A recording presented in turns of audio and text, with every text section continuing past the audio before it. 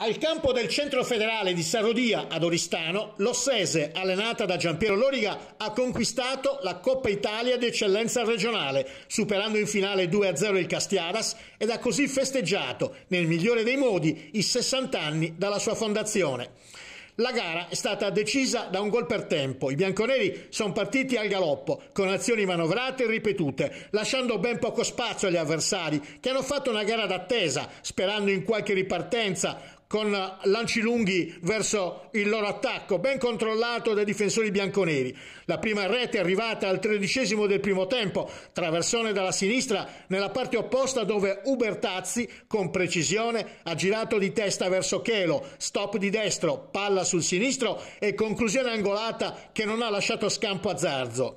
Al 77 il raddoppio. Scognamillo ha attaccato centralmente e ha smistato sulla corrente Madeddu, libero sulla destra, il quale, entrato in aria, e ha calciato un pallone leggermente deviato da un difensore, entrato in rete senza che Zarzo potesse intervenire.